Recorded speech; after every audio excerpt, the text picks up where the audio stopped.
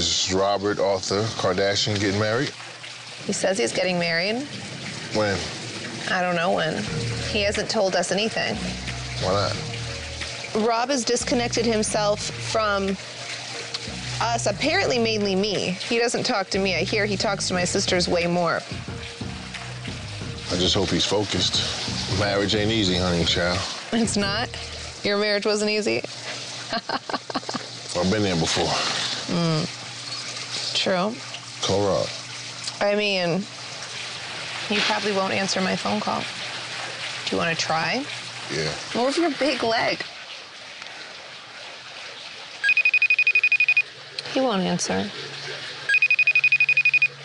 No? Yo, What's up, Waterbug? what's up, water bud? I am really surprised that Rob answered the call because even though Lamar's calling him, it's from my phone. It does make me smile because at least I know he is finally going to answer one of my phone calls. I'm just running around.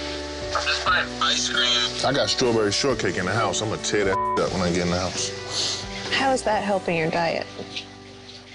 It accelerates your metabolism. Mm-hmm. You getting married soon, Daddy-o? Yeah, no, I don't know how soon, but first comes love, then comes marriage. You know, When you gonna come see me, bro? whenever. Can we go out to eat sometime this week?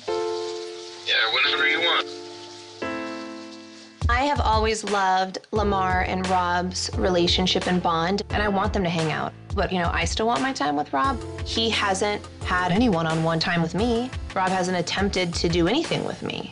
We can go out Friday. Friday? Okay. Is that all? It says poor connection. That's a sign. Do you want to say bye?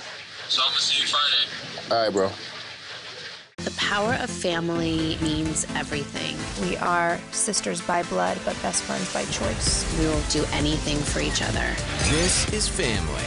Can't deny the power of K. Keeping up with the Kardashians. Only on E!